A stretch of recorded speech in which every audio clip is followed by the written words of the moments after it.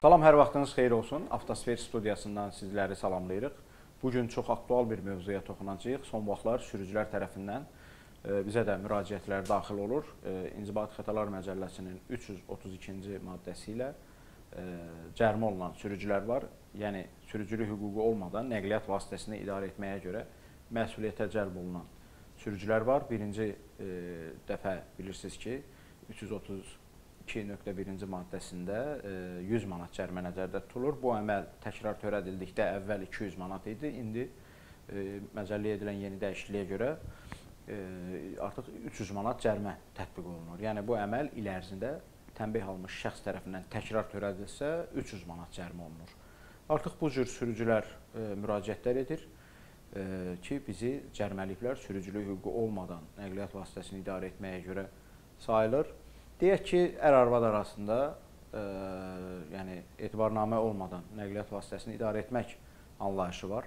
Deyək ki, bir kişi maşını alır yoldaşının adına, həyat yoldaşının adına və özü idarə eləyir. Həyat yoldaşının sürücülük hüququ yoxdur. E, təsəvvür edin.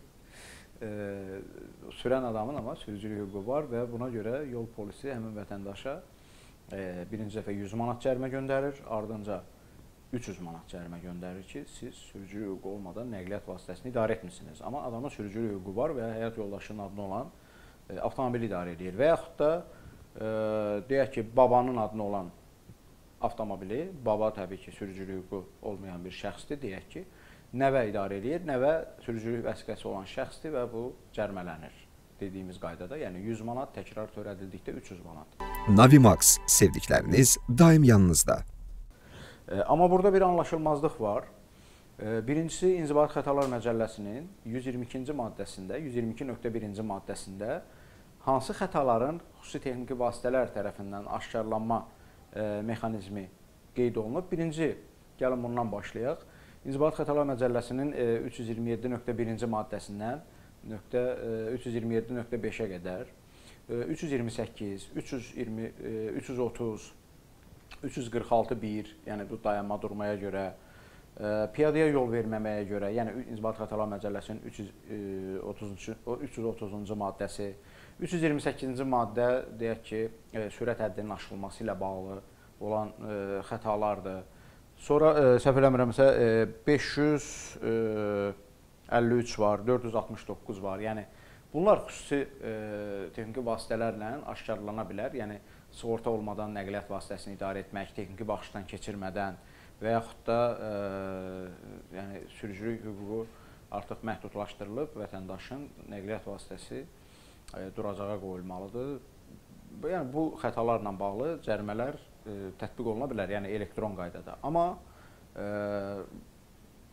bu 122 İnzibat Xətalar Məcəlləsinin 122.1-ci maddəsinə əsasən tam əminliklə deyə bilərik ki, İnzibat xətalar məsələsinin 332-ci maddəsi üzrə, 332.1.2 maddəsi üzrə, e, yəni sürücülük hüququ olmadan nəqliyyat vasitəsini idarə etməyə görə elektron qərar tətbiq oluna bilməz. Yəni bu protokol şəklində də tətbiq olunmur. İşin pis tərəfi odur ki, artıq qərar şəklində tətbiq olunur ki, bəli, sən sürücülük hüququ olmayan şəxsən mən sənin barədə cərimə tətbiq edirəm. Adam e, sübut edə bilmir və müraciət edir. Şikayətlər artıq çoxalıb bununla bağlı biz sosial şəbəkələrdə vəziyyəti də öyrənirik ki, vətəndaş artıq e, çıxılmaz vəziyyətə qalır, müraciətlər e, bir deyək ki 100 manat birinci dəfə cərimə olunub, adam şikayət edir, şikayətə baxılana qədər artıq təkrar e, cərimə gəlir. 300 manat da bir gəlir üzərinə.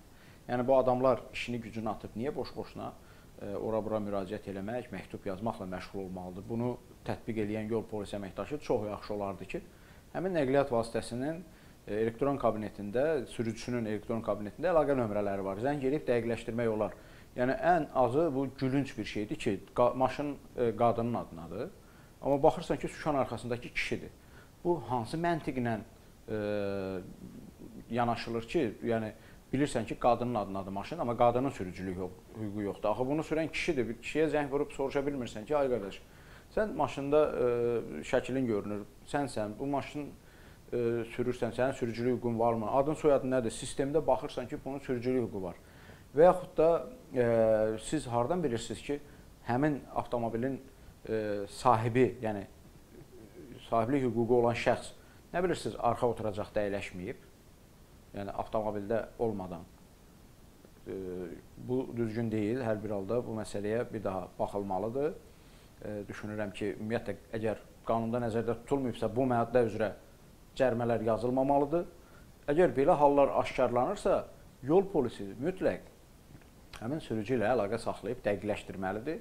Təbii ki, avtomobilin sahibliyi hüququ olan şəxs məlumat verəcək. Həmin tarixdə avtomobili kim idarə edib? Həyat yoldaşı idarə edib, oğlu, qızı, nəvəsi, hər kim idarə edibsə məlumat verəcək və əgər vətəndaş sürət həddini aşıbsa, 10 manatlıq cəriməyə düşübsə, buna sürücülük hüququ olmayan şəxs kimi 100 manatlıq cəriməni niyə göndərirsiniz? 10 manatlıq xəta törədib, 10 manatlığı pozun. Kəməri taxmayıb, kəmərin cəriməsini yazın. Yəni bu qayda belə olmalıdır. Düşünürəm ki, bizim bu video müraciətimiz aidiyyatı orqanlar tərəfindən nəzərə alınacaq və sürücüləri narahat edən bu məsələ aradan qaldırılacaq.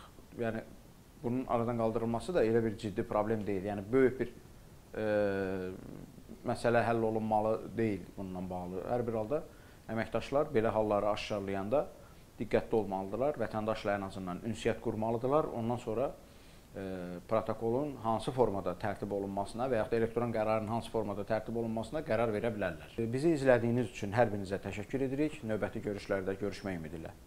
Jetor, gələcəyə səyahət.